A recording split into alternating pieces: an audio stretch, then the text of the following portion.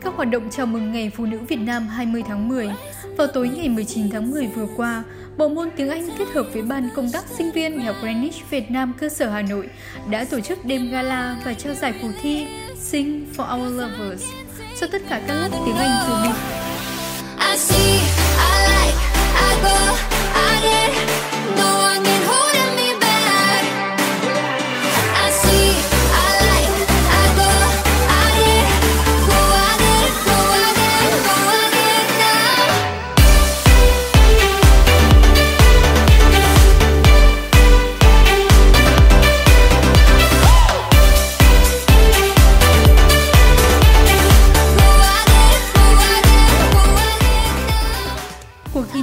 có sự góp mặt của hơn 20 đội thi với nhiều ca khúc đa dạng và cách trình diễn độc đáo.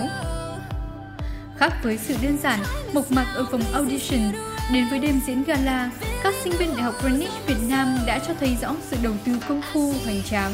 Các bạn đã hoàn toàn lột xác, không còn là thí sinh trong một cuộc thi, mà xa hơn thế, các bạn đã trở thành người nghệ sĩ, cất lên tiếng hát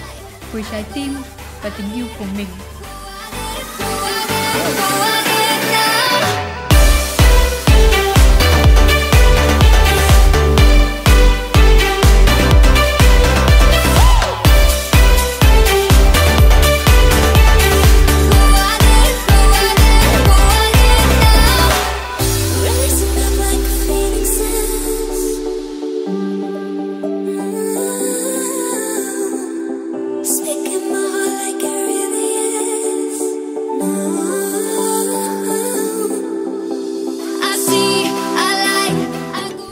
For Our Lovers đã khép lại, nhưng dư âm và những giai điệu tuyệt vời của nó sẽ còn động lại mãi trong trái tim những người yêu nhạc.